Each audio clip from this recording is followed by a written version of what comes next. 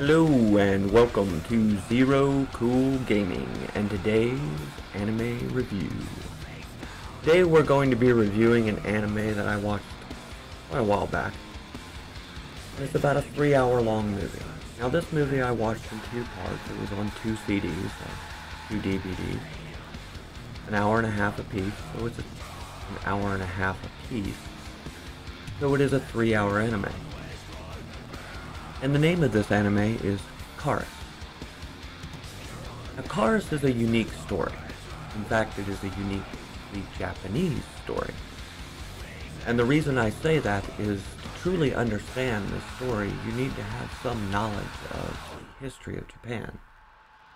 You need to have some knowledge of the, say, the religion that many of the Japanese people believed in. You see, there was a time in Japan when people believed in ancient gods and spirit realm. And they gave prayers to these ancient gods and believed in the spirits of the realm. And this is where the story of Karas truly begins. You see, the ancient gods in this story felt that they needed a mediator, a protector of sorts one who would both protect the spirit realm from the mortals and would protect the mortals, the mortals from the spirits of the realm. And thus Karas was born, to be that mediator. And with the mediator became as well an observer, a watcher, one who would watch over the Karas to ensure that he did not become corrupted. And if corruption was to seep into the Karas, it is the Watcher's job to end him. And thus our tale begins.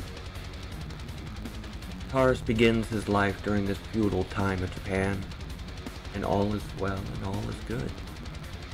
The mortals continue to pray to their gods and give reverence to the spirits within the realm, and the spirit realm is healthy and maintained as a result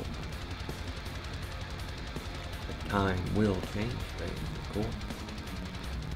And as time went on, Japan evolved and eventually became into the world that we see today, the age of technology. And with this new age of technology comes new beliefs and understandings. And the mortals have become arrogant in their beliefs of science and understanding, and have forsaken their old ways. No longer do the people pray to the elder god. No longer do they give reverence. Excuse me. And no longer do they give reverence to the spirits they once revered. And as such, within this story, the spirit realm suffers. And it becomes weak and sickly.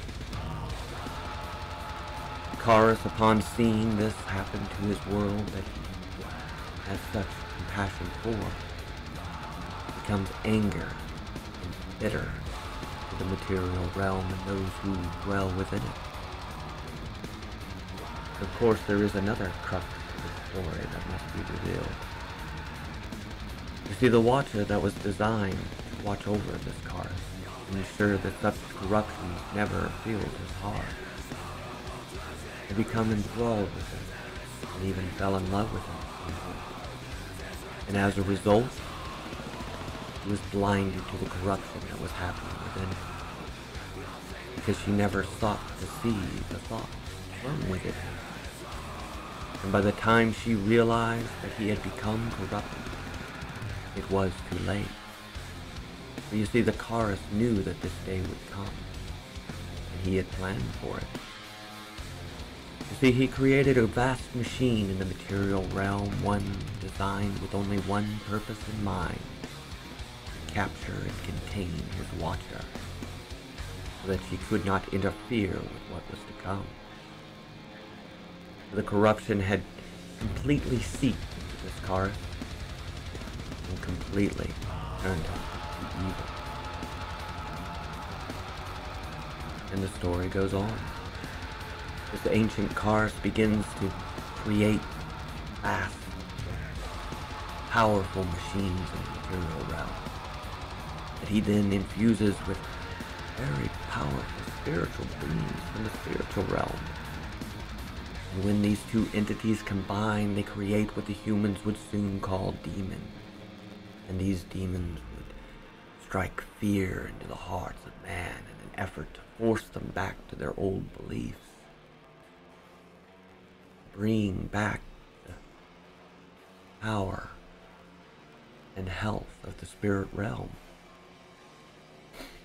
You see, there were no depths to which this ancient Karas was willing to go in order to see his vision brought forth. Now the ancient gods of the spiritual realm saw this happening, and they knew that something must be done, drastic. They were not willing yet to commit. So they tried their hand at what they knew and created a Karas to defeat this ancient. And failed he did. For two very basic reasons. One, he did not have the knowledge necessary to face the ancient Karas. And two, he truly feared him. And when these two things are combined, he sought or had no hope of defeating the ancient Karas. Upon this new revelation and realization, the ancient gods knew that they had to throw caution to the wind and create a being that was far more dangerous than the ancient Karas had ever become, or possibly could. They also knew that without doing so, terrible things would continue to happen to the material realm. And worst case scenario is that all of it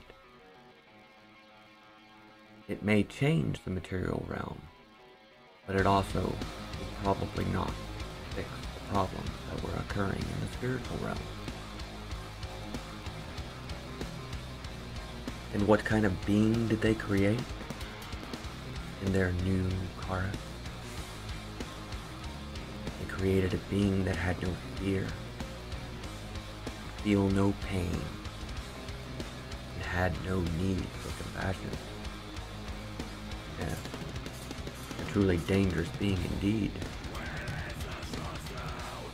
And so they created a new watcher, an ever-vigilant watcher, that would question his every thought and restrain his every ability. This watcher was what they intended. Some might even say too much So this new Karas began his journey, hunting down the demons created by the ancient Karas. He did his job well, defeating each demon one by one at the encounter. Something miraculous did happen along the way. You see, this new Karas found compassion and learned reasons to have it. And in the end, he did confront the ancient god and defeat him. And as a result, he found a better way. And that is the story of Karas. It is a unique and interesting story, and as I said, it is uniquely Japanese.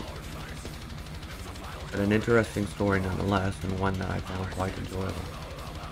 There is lots of action and lots of lore and a lot of ancient Japanese history contained within. Predicated on a bunch of beliefs that they no longer believe and a bunch of things that many do not believe in as well. But nonetheless, a Japanese tale at its core. And I quite enjoyed it. I quite liked it. I thought it was one of the best, better movies that they had produced in quite some time and a unique take on ancient feudal Japanese lore. At the very least. Well, that's my rant for the day, and I do hope you enjoy the rest of yours.